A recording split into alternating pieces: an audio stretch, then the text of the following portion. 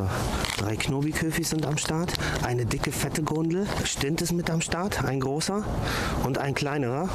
Unsere Haken sind wie beim Zanderangeln. Beim Einstechen schön weit oben bleibe. Und dann gehen wir runter. So.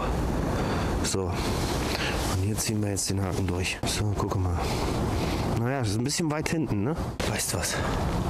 Weißt was, Leute? Der zieht doch. Der ist dran.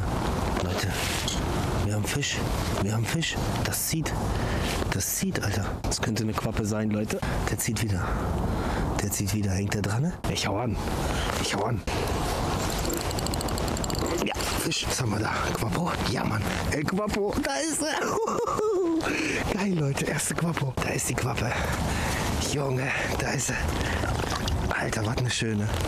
Was eine schöne, Leute. Da haben wir unsere Quappe. Willkommen in der Quappenzeit.